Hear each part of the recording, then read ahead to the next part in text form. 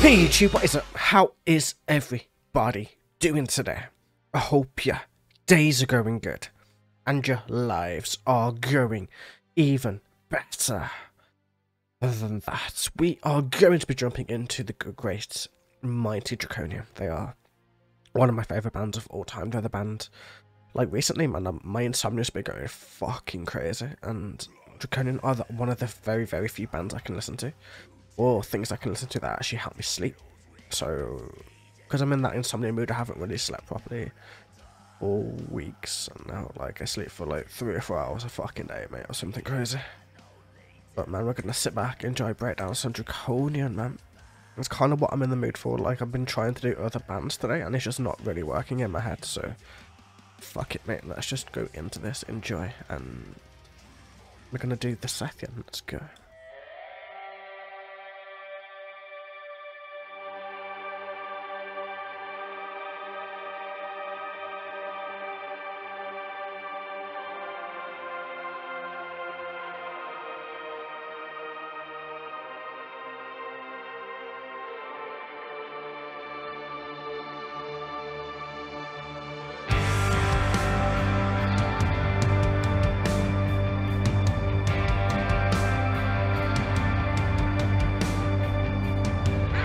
I love the gold. The gold is so sick.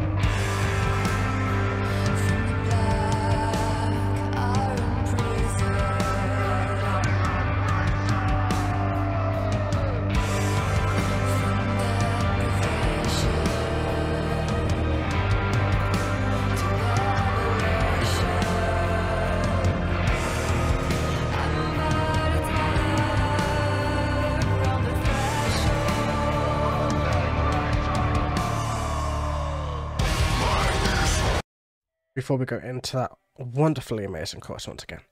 Uh, Draconian, if you haven't guessed by now, are a Gothic Doom band. They are one of the pioneers. They are. They've been around for a very long time. I've been listening to them since I was ooh, 15, 16, since I first heard Arcane Rain Fell, man. It was a fairly new album when I first actually listened to it. Like, I just like found it online, like when I was like a lot younger. And it just helped me get through so much shit but this is awesome. The video, like, you know, with her golden hands, it kind of reminds me of, um, is it King Minos? King Minos? You know, where, like, everything he touches turns to gold. Is it that type of shit, but in a completely different way? Like, maybe everything she touches is turned into gold. Is like, that's why gold is dripping down instead of blood. Maybe she's just made of that substance we don't quite know yet. Need to see where the video goes. Actually, the video is probably one of the most intriguing bits of this whole thing so far just because each shot itself is kind of like a perfect picture, if you know what I mean. Every shot that we see, you can tell somebody with a very creative mind like worked on the video because every shot, no matter where you'd pause, you'd get something amazing and, and an amazing shot of art in essence, and it's just so fucking awesome to see. And still, man, I think this is going to be very much about nature and the universe and everything else like that, just from what we've heard so far. Listen to the weeping of the continent, the shifting, shifting of the elements, and a universe locked in glass by an abject patriarch of insolence. So listen to the weeping of the continent, to the continent weeping as they move. The shifting, as a shift, every element shifting. The universe is locked in glass, locked in everything else, being locked in expansion, locked in everything it's doing. My knees won't bend, my hands won't fold. I've sworn descent upon your father. I am the Sethian. The Sethian, I have no idea what it is, just because I haven't really looked up. I haven't looked up anything about the video. Obviously, this is my first reaction. Hopefully, the song really explains what it is a lot more as we go through it, but it might not do. They might need to listen to the whole album to really kind of get that gaze in there. And still, it's like a very nice kind of sentiment. No, my knees won't bend, my hands won't fold. I've sworn descent, like I've sworn descent upon the Father, on God, or some kind of malevolent being across the universe, something along those lines. And yeah, it's just so fucking interesting. I did not fall from grace. I leapt to freedom. From the black iron prison, from the deprivation to revelation. I am but a dweller on the threshold, on the threshold. I'm pretty sure we literally got to second chorus right here. I could, I may have just completely forgotten where we were as I'm just getting so involved with the music and the video and everything else, but it's so interesting just to listen to it all. Like I did not fall from the grace itself, I leapt to freedom as in I'm guessing this is very much about religion, as a lot of Draconian actually this is very much about God and religion and lots of other things built into it. Especially um, albums like Arcane Fell. If you listen to it lyrically, it's very much about that. You know, it's basically that a total Satan reference. Like I did not fall from grace, I leapt to freedom, like because Satan fell into hell. Obviously, he's a fallen angel of, in essence, from the black iron prison, from deprivation to revelation. So it's definitely like a whole fucking biblical theme going through this. I am but a I am but a dweller on the threshold. On the threshold, like yeah. Like I'm pretty sure it's either Jesus, Satan, somewhere along there, someone who's fallen, somebody who's like not quite in grace anymore, in terms of in terms of a religious standpoint. But still, man, let's keep going.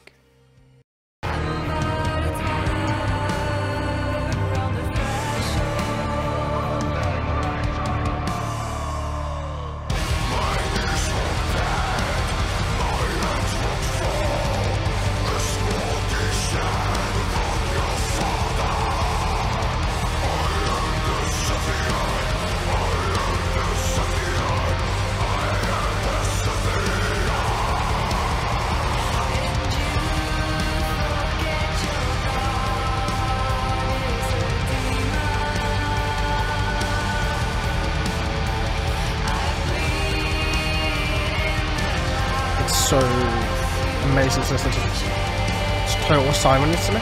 Like it sounds very much like a siren.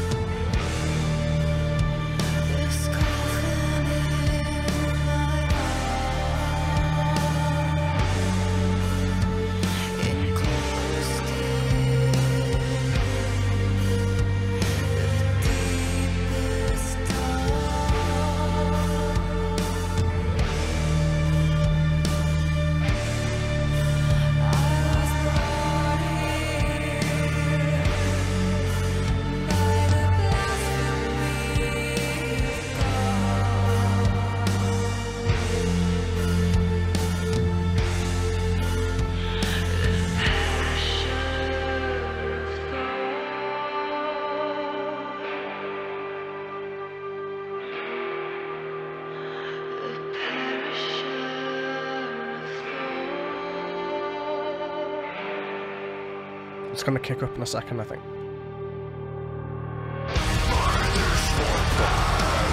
I could feel it. Like, I've listened to so much Draconian in my life, I could just feel where they were going with it. I was like, yeah, it's going to kick up, it has to.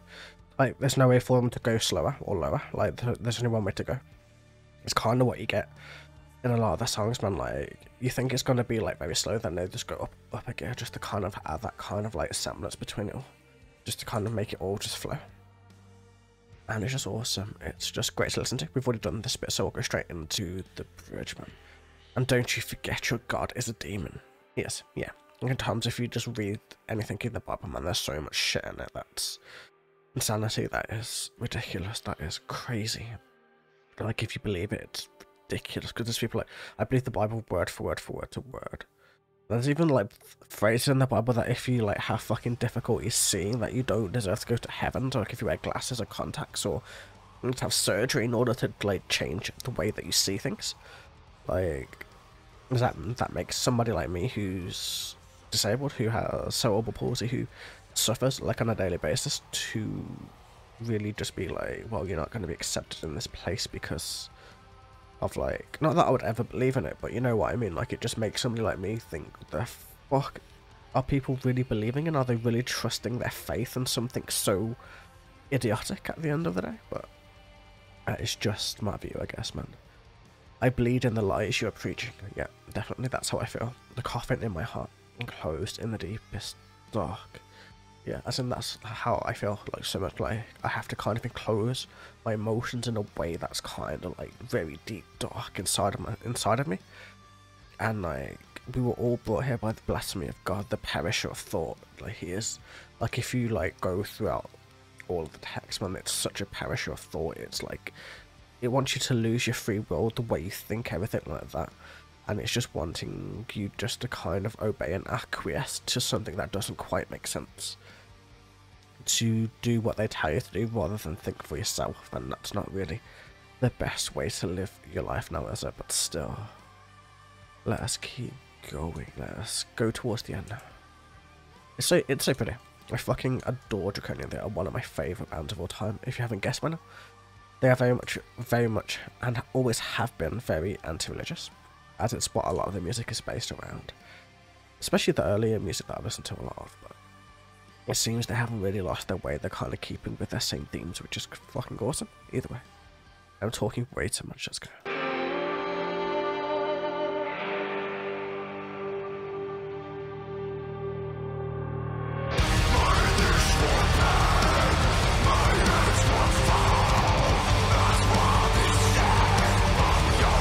That's such a sick image.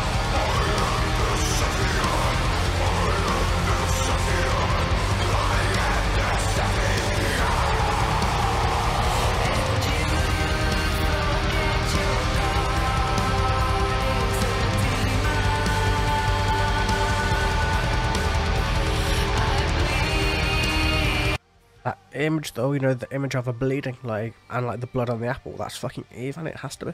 Like, you know, Eve biting the apple, that damns all of humanity, like, literally.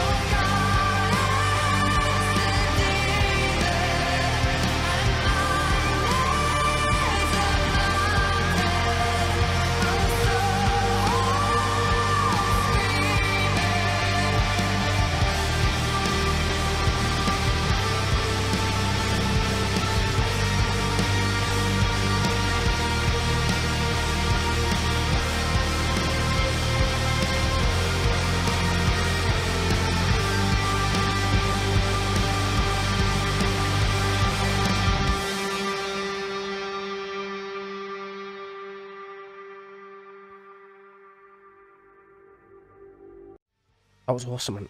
I kind of have to be in the right mood to listen to Draconian. It's what it's been about 11 months since I last featured them on the channel. Mostly because I've been taking a few breaks here and there, and because, like, unless I'm in that mood for them, unless I can really sit there and listen to what they have to say, then I can't really. Then I can listen to them, but I don't appreciate it as much as I should. Like, if I'm not in that right kind of mental mindset to really go about it, and I don't really see the point of really reacting to them and analysing them because I'm not going to, just to feel it and it's not really going to be the best version of what I could do with it, if you know what I mean. Like, it's only when I'm in the right mindset that me doing Draconian is like a perfect way for me to make content because I, I listen to music, I do music based on how I'm feeling and how I'm feeling on the day, how I appreciate things, how things change, how things are. It's just one of those things that you have to kind of feel like if you you're listening to music purely in a way where you don't feel it, where you're doing it for views, where you're doing it for content, you're doing it because a fuck ton of people like it, then what the fuck is the point? Because music is a special thing to so many of us, to so many fucking people out there, that you're kind of disrespecting it if you don't give it your proper attention and you don't analyze and enjoy it. At least that's how I've always seen it. It's why I've been trying my hardest to try to get my content up to a level where like I'm happy with it, as I've not been happy with a lot of shit that I've done over the time that I've been doing it. So I'm just trying my best to improve it and improve it and improve it and get to where I need to get to, try to get to where I can speak quite clearly, rather than fucking rush what I'm trying to say. And that type of shit. And Draconian is one of those bands that helps me get through life, if you know what I mean. Like, you know, the you know, we all have those one or two groups or musics or bands or whatever you want to call them that just get us through life.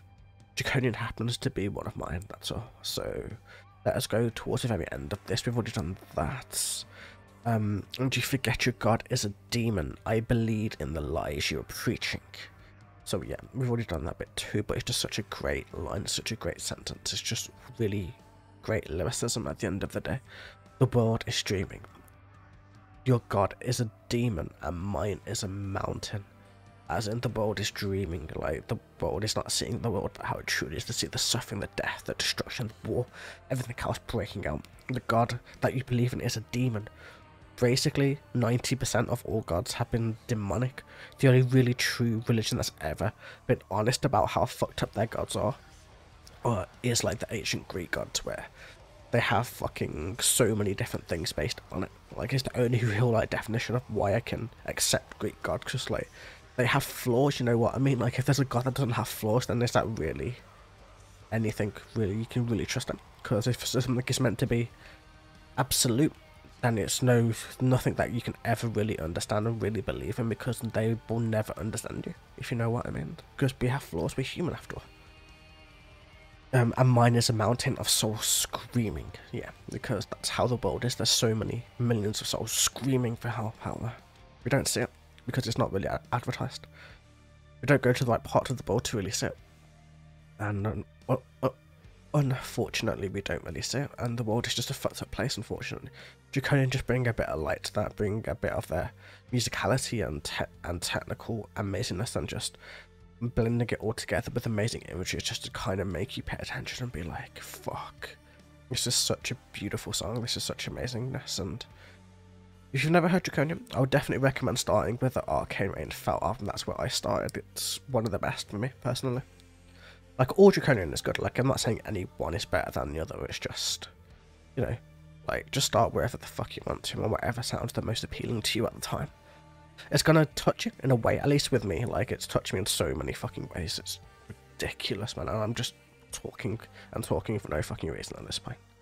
Kind of venting a little bit, I guess, man. Either way, I hope you guys enjoyed one. Have a wonderful day, evening, or night.